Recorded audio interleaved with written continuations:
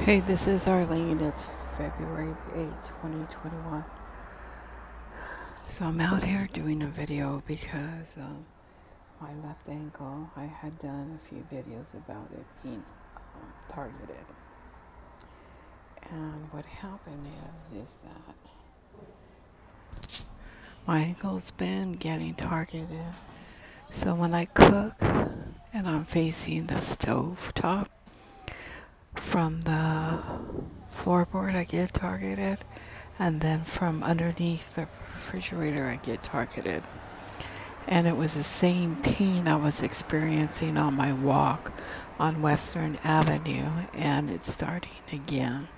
So I just wanted to do a video on it because that is what is happening to my um my ankle.